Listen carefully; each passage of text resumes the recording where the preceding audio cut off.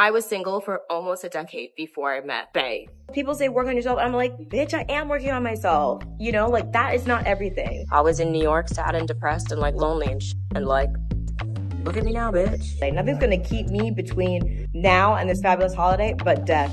So like if we gonna die, we gonna die. No, I don't need help. I got it.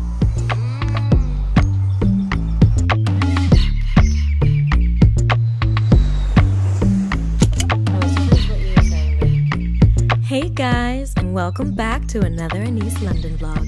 We're still in Greece, living it up, but this video is a little different today. We're in a more reflective, serene vibe. You know, very demure, very mindful.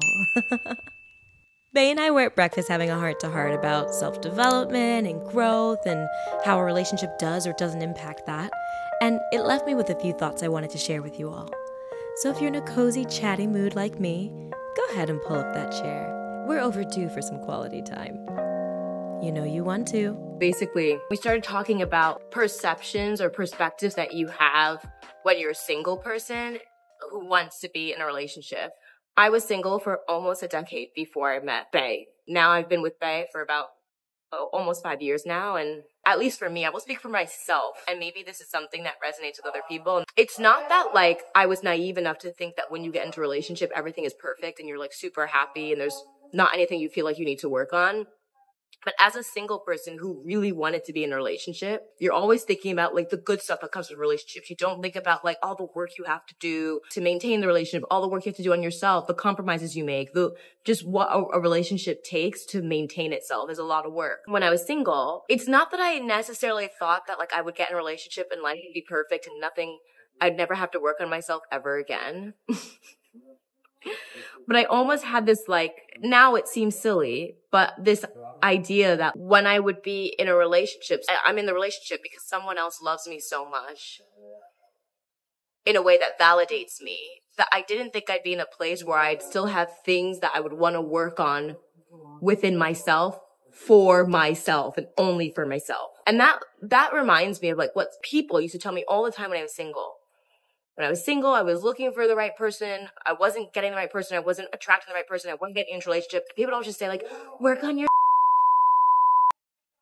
Okay, my phone definitely died. To repeat what I said before my phone died is yeah, like I would be single, looking for the person, and people would say to me like, work on yourself, work on yourself. You know, once you are working on yourself, you will attract the right person and blah, blah, blah, blah, blah.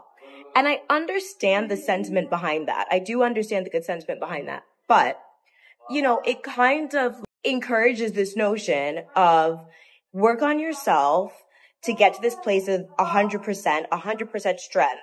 And then like when you do that, you will attract or be worthy of like attracting a person who's going to like be into that, right? And I would just always, people say work on yourself. I'm like, bitch, I am working on myself. You know, like that is not everything.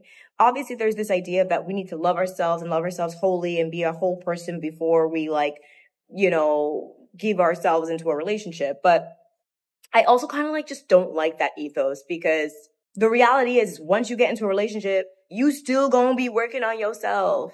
Okay, the monologue is not over, but I'm just watching it back and I just want to add like one little bit. Cause I'm just like, as I'm watching back, I remember how annoyed I would get when people just tell me like, work on yourself. Like when I was single.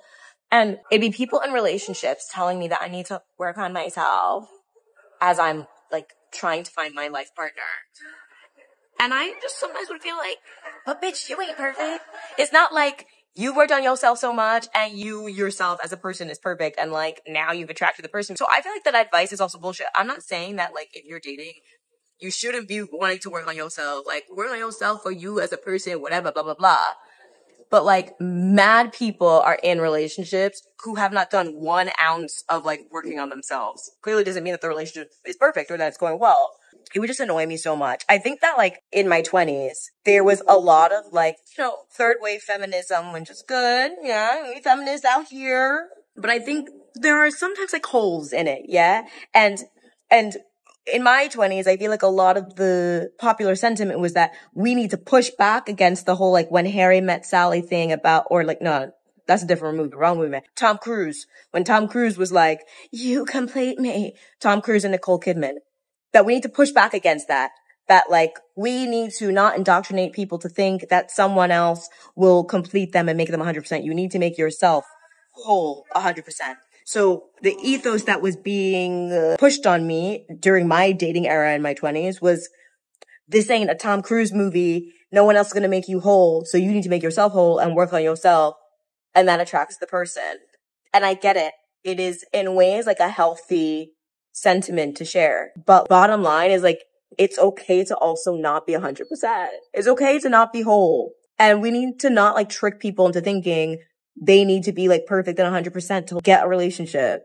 I've always kind of lived by this notion. It's a romantic notion, but I've always felt like go alone and you'll go fast, go together and you'll go far. I, I always knew that I wanted a life partner. I always knew that I wanted to do life together with someone and have like amazing experiences and explore and like, bitch, look where I'm at now. So clearly like I'm doing it. This idea that make yourself amazing, then you'll get into a relationship. Not only is it like false, I also think that it's not helpful because once you're in a relationship, relationships take a lot of compromise. And if you are so accustomed to being like 100%, you're doing everything your way, you're doing everything to the best of your style, that might make it hard to maintain a relationship too. Cause you get into a relationship, your partner's gonna have other like wants and desires and needs. And like if you've gotten so stubborn about like doing everything 100% your way, like I don't know, good luck maintaining your relationship. God damn. And it's also, there's something nice about working on yourself with someone else who's also working on themselves. So to go back to this not so helpful perception I had when I was single, is like when I was single, like I'm working on myself. Then when I get into a relationship, I didn't really think about all of the continued work on myself I would like want to do. I feel silly saying it now. And it's, it's not that I had this notion, oh, you get into a relationship and then there's nothing left to do because you've won, you're in the relationship. But you know, the the the day before we came here to Naxos, I was like doing a deep clean of my apartment because I have someone who's house sitting the flat. So they're staying in the flat and they're looking after Lily like while we're here and I just wanted the place to be like amazing for them. And and when I was cleaning the bathroom, oh my god, that's even like a whole other story. But listen, my brain was fried. I hadn't been sleeping much. I accidentally threw bleach in one of our toilet cleaners into the toilet bowl at the same time.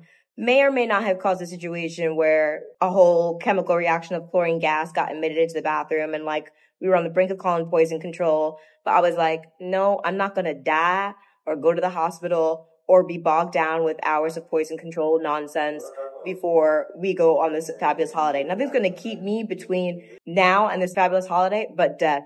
So like if we gonna die, we gonna die. Me Lily evacuated the flat. We went outside, got some got some fresh air. Anyways, once that was all done, I was cleaning out the medicine cabinet and I remember when I was single and I would go to like people's homes, people who were in relationships, and I'd be like in their bathroom or in their house. And in their bathroom, for instance, I would see men's products like in the shower. I'd see men's products like in the cabinet. And maybe it sounds a little bit silly, but I always like wanted that. I wanted to have a home. You know, I was single, either living by myself or living like with flatmates and like in my own bathroom. It'd just be like all my own. And I just really had this romantic notion of like looking forward to the day when I'd open my medicine cabinet in my home and there would be like my stuff and like a man's stuff, you know? And so I was cleaning out my medicine cabinet and these were the thoughts I was having as I was cleaning out my medicine cabinet, like how far I've come. I'm in a relationship now got men's stuff all over my bathroom. And so as I was tidying his stuff, and I moved down to my stuff, and there were like all these products, all these female products, all these um, women's skincare products. And then that got me to thinking about how all of those women's skincare products that are there they have absolutely nothing to do with Bae. They are about a journey of skincare improvement that I'm on, that I want to do purely for myself. And it has absolutely nothing to do with Bae. And it made me think back to the times when I was single, when everyone would tell me like, work on yourself, work on yourself, work on yourself, be better, because that will like attract your partner. Under this kind of notion that like, work on yourself so you can attract the right person.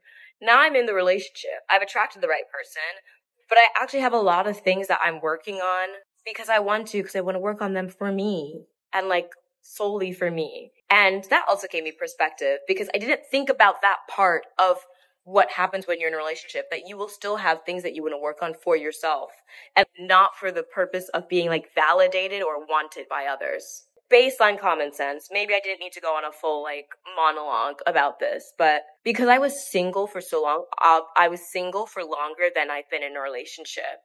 So I think how I was in my single years, how I operated in my single years, how I thought in my single years, that's like a big part of me because it's a big part of how my life was. And it's slowly changing. Like the way I think about things slowly changes because now I'm in a relationship and I'm committed to someone and how you think about things when you like commit yourself to someone is different from how you think about things when you're only committed to yourself. Heroism requires sacrifice.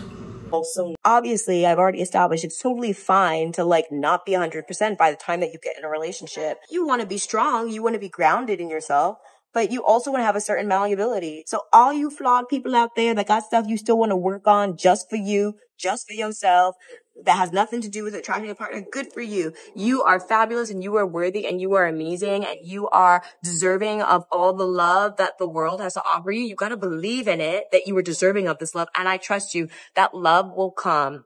And even if it don't come, you better keep giving it to yourself you better keep giving it to yourself. So uh, one ethos, this brand is never going to end. One ethos that I do really agree with is that confidence attracts people. Self-belief attracts people. That's a good thing to have, you know, just to get through life for yourself because life is hard. But also, if you're looking for a boo, that's going to do you want some wonders. So you deserve it all. Know that you deserve it all. I don't know, the way that I'm like living the life I always wanted to live. Sometimes I don't like recognize it and I'm, I have to have like a bit of a pinch me moment. But there was a time where I was in New York, sad and depressed and like lonely and sh- and like, look at me now, bitch. I'm in Naxos with my boo, feeling loved, feeling supported, loving myself, still working on myself and yeah guess I'll wrap this up at this point and go back to the room. Bae is working. Show you guys the place. Maybe this is a good time to show you guys the place. And yeah, talk to you in a bit.